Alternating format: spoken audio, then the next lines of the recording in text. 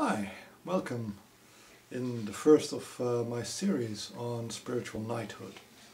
Um, I've earlier made a, a, a, workshop, which I also put on YouTube, about uh, spiritual warriorship. This is more about the techniques you can use to fight energetic battles.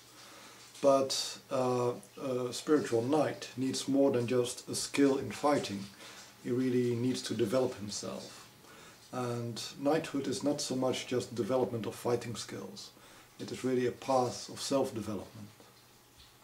And uh, there are many knightly codes, many rules which a knight should follow according to chivalry or different orders.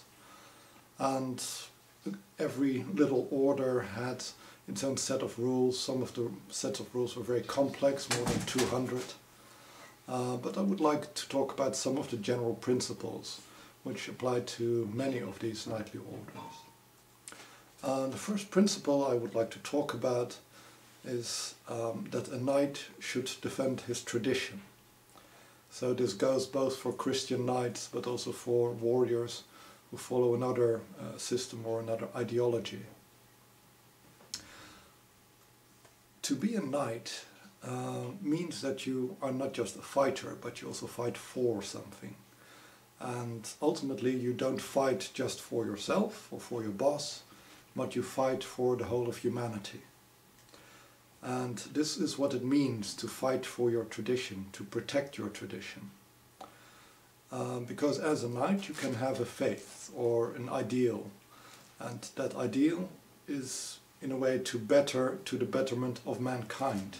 It is to serve you as a path of self-development but it's also uh, exists to serve others as a path of self-development. So to defend the tradition, as is the duty of the knight, is mainly to defend a religion. And with religion I mean a method of reconnection, religare, reconnection. And uh, that means that we as an incarnated human try to reconnect with the higher parts of our being or with higher principles, higher ideals, gods, goddesses, the creator himself, angels, uh, enlightened masters, can be many things uh, which are included in your religion. Uh, but to reconnect, to have this religion, um, requires a set of steps. So, and depending on the religion, these steps are different. So part of it can be prayer, it can be meditation, it can be physical exercises, uh, it can be certain rules of conduct, vows of poverty.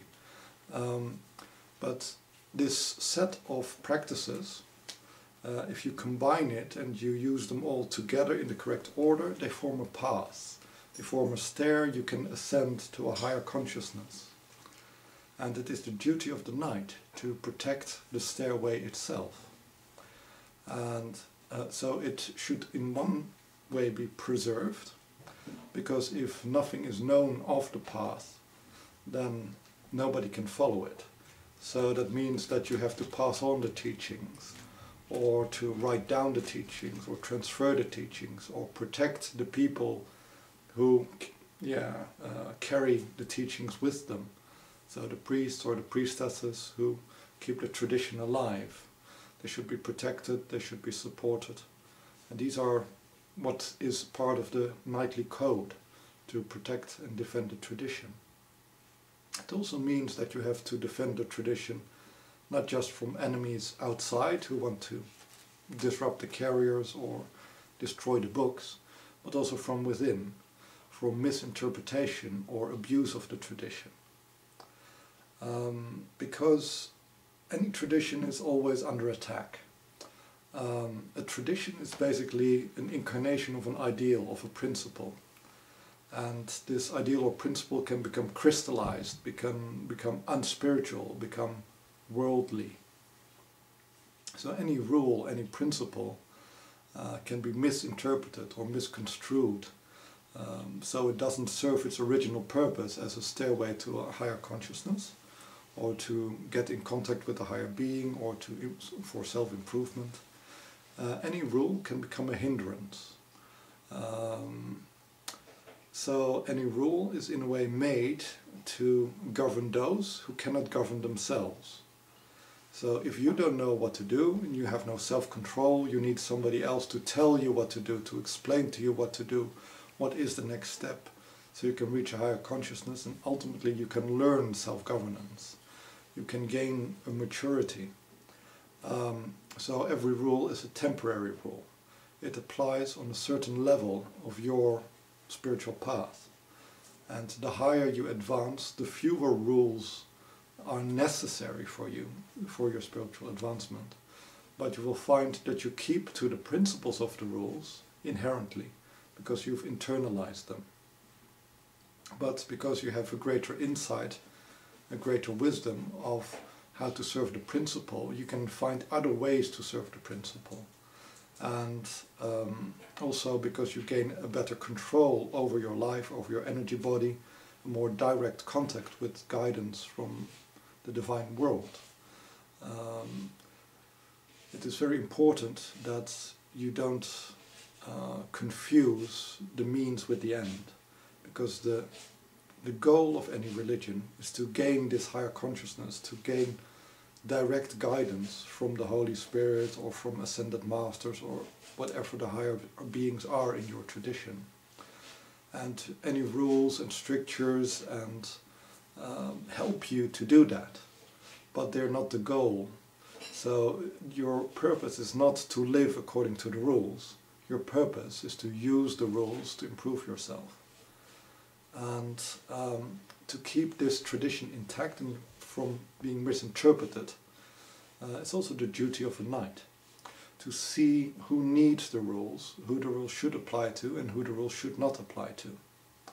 And this is part of justice, because as we work on ourselves, we gain a certain position, we gain a certain maturity in the eyes of the higher powers. And we should be treated according to our position, according to our, the fruits of our labor. And this is a principle of justice, which I will speak about in another video.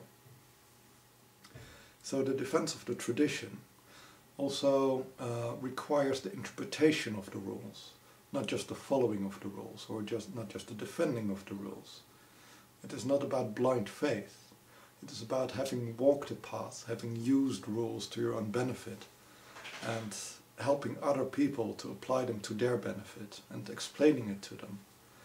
So a knight is not just a fighter, he's also an example, a teacher of how to live a spiritual life, how to reconnect, and how to gain strength and stability and harmony out of that connection with the higher principles, with the higher powers.